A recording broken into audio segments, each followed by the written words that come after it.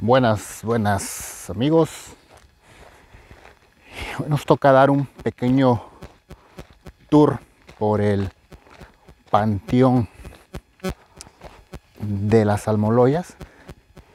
Este se encuentra ubicado pues, en lo que viene siendo parte de, de Estación Almoloya, ya colindando con, con Paso Real.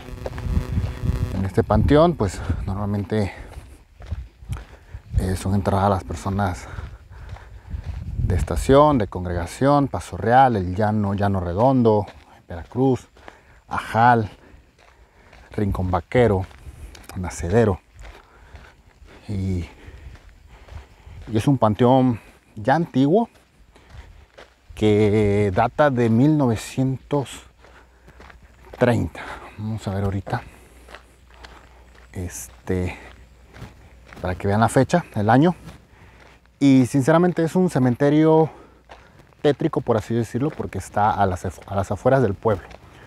No es como en otros panteones que se encuentran dentro de, del pueblo, del lugar, no sé, de la comunidad, ¿no? O de la ciudad, ¿no? Como es la, en las ciudades.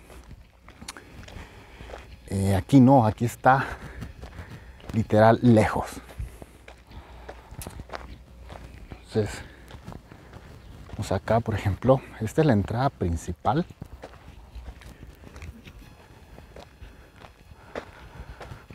Aquí vemos el portón. Y aquí dice Panteón Municipal Almoloya. 1930, el año de su fundación. No vamos a entrar aquí por la entrada principal porque hay unas hay una leyenda que cuenta que si tú abres la entrada principal puedes como que despertar a las almas o si se deja abierta la puerta principal empiezan a, ocurrir una serie de, de, fallecimientos por así decirlo. Entonces eh, esta entrada principal obviamente está dividido en dos, dos lados. La derecha que es exclusivamente para la parte de Almoloya Alta que es Congregación Almoloya o Almoloya de Gutiérrez, Paso Real, Llano Redondo, Veracruz, ¿no? Como, como se los comentaba. Entonces, para este lado. Y ellos también tienen una, una entrada, que si pueden observar allá, por ahí hay una unidad vehicular, por ahí hay una entrada. La otra entrada es a donde vamos a ir,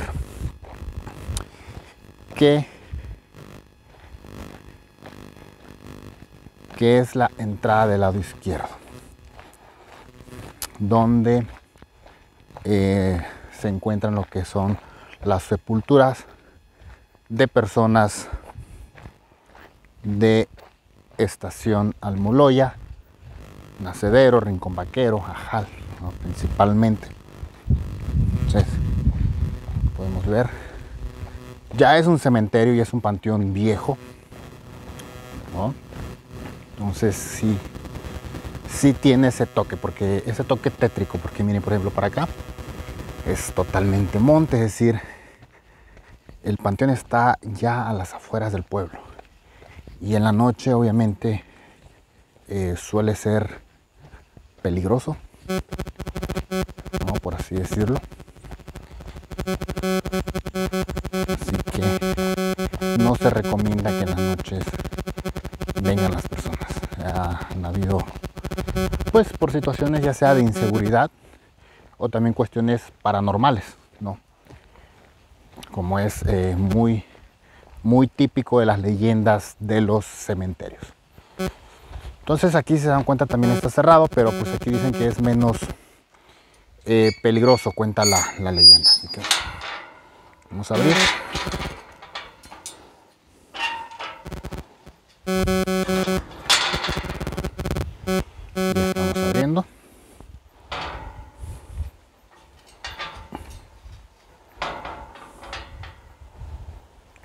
Entonces, esta parte de este lado es lo que es estación, em, Nacedero, Rincón Vaquero, Ajal.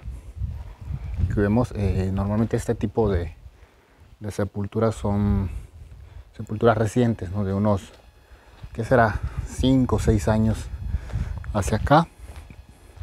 Entonces, normalmente, eh, cuando alguien fallece, digamos que la, eh, la sepultura en primera instancia suele ser, por ejemplo, suele ser así. ¿no? El día de, del entierro, como, como le dicen, suele ser este. La sepultura suele ser así, por ejemplo, así. Estamos, esta es una, una reciente. ¿No? lo vemos. Y ya con el paso del tiempo los familiares deciden si hacerle, por ejemplo, una ramada, una enramada, como les dicen, que son como por ejemplo las que están allá, o básicamente este tipo de, construcciones, tipo como que fuera una casita, ¿no? Por así decirlo. Entonces, eh, ya las personas deciden. Por ejemplo, aquí, aquí tienen unas enramadas ya depende de, pues, de lo que le quiera hacer la, la familia del, del, difunto. Eh, existen lápidas o sepulturas ya, ya viejitas, ya muy antiguas, por así decirlo, que pues prácticamente fueron olvidados por sus familiares. ¿no? Entonces,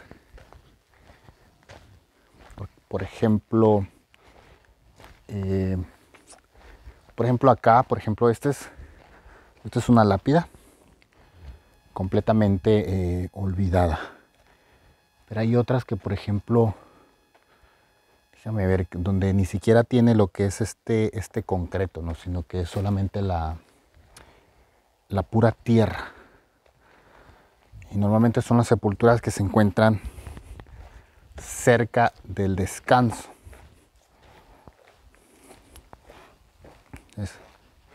aquí hay que tener eh, mucho cuidado más que nada, no tanto con situaciones paranormales, sino como les decía, eh, la inseguridad o también este, por los animales que se pueden encontrar, ¿no? en este caso víboras, por así decirlo. Entonces siempre, siempre hay que tener cuidado.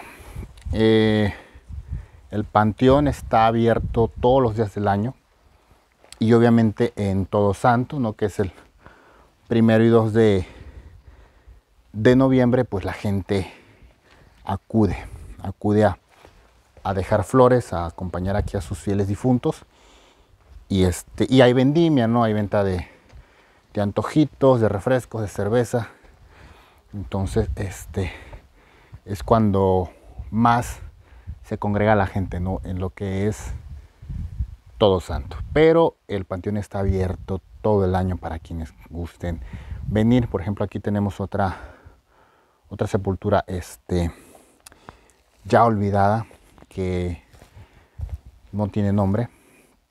No sabemos a quién le pertenece. Y pues es que este, como que es parte, ¿no?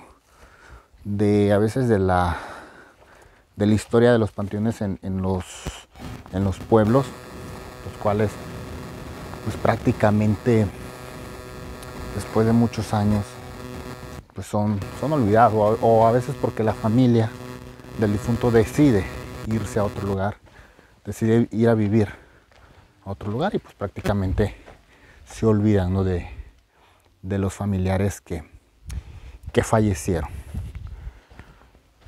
Gran cantidad de lápidas, de tumbas, bastantes, no, no podría cuantificar, ¿no? les podría decir un aproximado porque, porque son muchas y otras como por ejemplo le, decía que ya prácticamente están como, como en ruinas, por así decirlo.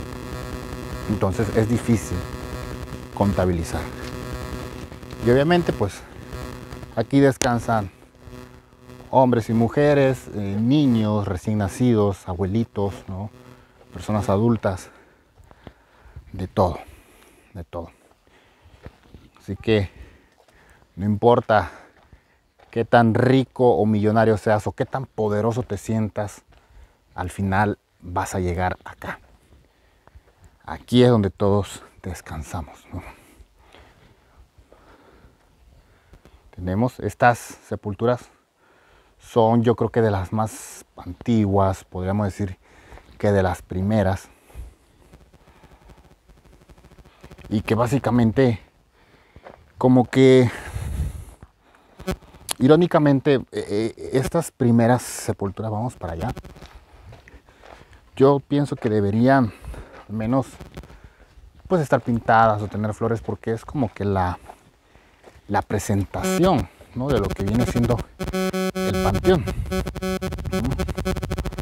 Esta es. Entonces, por ejemplo, pues está la entrada. Cuando llega el féretro, llegan los familiares, pues, se abre acá y se entra. Y ya nos vamos aquí. Este es el caminito rumbo al descanso. ¿no? Así se, se le llama donde prácticamente es la última morada del difunto. Es aquí, tenemos una frase, Padre, en tus manos encomiendo mi espíritu. Y bueno, y aquí, aquí es donde ponen el, el féretro, descansa, se reúnen todos los familiares, se dicen las últimas palabras, por así decirlo. Y pues ya de ahí ya empieza lo que es el recorrido rumbo al lugar donde va a ser sepultada la persona. Se dan cuenta, son muchas, muchas. Y, y, es un terreno amplio esto, eh, la verdad. Eh, les puedo decir que yo creo que está habitada a lo mejor el 25% o el 20%, porque se dan cuenta todo para allá, donde todavía hay este, plantas, hay árboles, es terreno del, del panteón y es un área en el cual en su momento, o sea, como por ejemplo allá si lo ven, creo que se ve a lo lejos, ya está limpia, entonces el panteón se sigue expandiendo. No creo que tenga un, conozca un final el, el, panteón. Para este lado tenemos lo que es congregación Almoloya, Paso Real, ¿no? Son, son este, las, las sepulturas de las personas de este lado.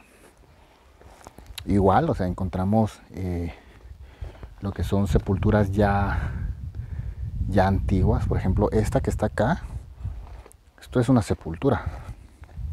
Así se enterraba antes. ¿no? Entonces, por ejemplo, acá también, esta es otra. ¿no? Entonces, eh, antes no, yo creo que los primeros entierros, las primeras sepulturas, pues prácticamente eran eh, con ladrillo, ¿no? Ya al final lo, importante pues es, es la, medida de la, profundidad, ¿no? A la cual debe, debe estar en, enterrado el, difunto, que pues son tres metros aproximadamente. Miren, aquí tenemos una sepultura pequeña, ¿no? y como lo ven, entonces, esta parte es de, de ¿cómo se llama? De, de la otra almoloya, ¿no? Y todo lo que corresponde a sus, vamos a llamar las colonias, ¿no? De la otra almoloya. Aquí, aquí tenemos más, eh, más sepulturas ya muy antiguas, la verdad. Porque, pues les digo, este, este panteón tiene ya cerca de 90 años, 91 años, ya para 92 años de vida de esta sepultura. Y me imagino que ese año, 1930, fue como que el año en que se fundó. Pero quiero pensar que ya ese terreno pues se, se usaba ¿no? para, para enterrar eh, personas desde antes, mucho más antes de 1930. Por ejemplo, la época de la Revolución Mexicana, ¿no? O, obviamente las personas que vivieron antes de 1930, pues quiero pensar que aquí, o sea, este era el lugar en el cual se pues se, se enterraban, no se sepultaban a estas personas. La vista impresionante, lo lejos, el paisaje yo creo que Es lo único bueno o bonito que tiene eh, este panteón, la, vista. ¿Por qué? Porque como les digo, se encuentra a las afueras del pueblo. Entonces, este, pues obviamente nos regala unas vistas pues impresionantes. Y obviamente pues nos aconseja a veces venir solo y sobre todo venir en la noche por las cuestiones que ya les decía, ¿no? Eh, cuestiones de inseguridad sobre todo. Y pues la otra parte que está la, la parte eh, de, ¿cómo le diré? Como que de cosquilleo, ¿no? Que es la, la parte paranormal o extranormal. Entonces, por eso no.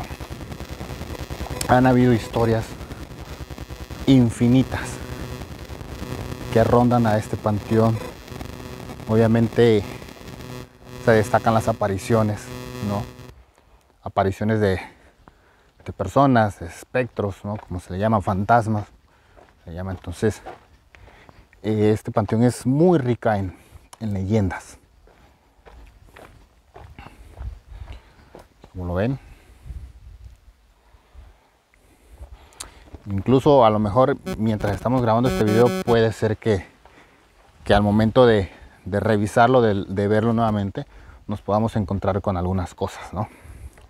Algunas cosas interesantes.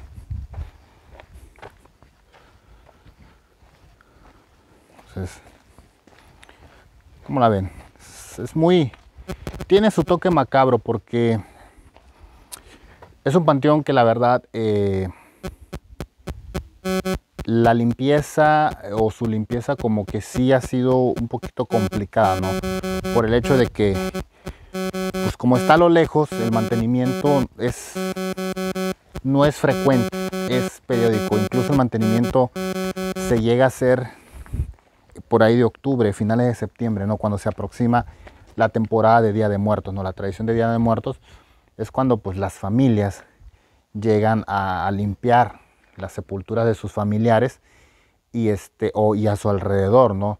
Pero de ahí en fuera, pues todo el año, por ejemplo aquí que tenemos monte, eh, pues el monte crece, ¿no? Porque como les digo, al ser quizás si, si el panteón estuviera en un, en un sitio más céntrico o cerca de la población, yo creo que el mantenimiento sería más, este, más frecuente porque por el tema, por ejemplo, de los animales, ¿no? Para que no, no, haya, no se encuentren víboras y todo eso, entonces, eh, creo que la limpieza sería frecuente. Pero mientras no. Y eso pues obviamente le pone un, sabor y un aspecto más tétrico todavía a lo que es el, el panteón, el cementerio, ¿no? Entonces, este es el panteón de las almoloyas.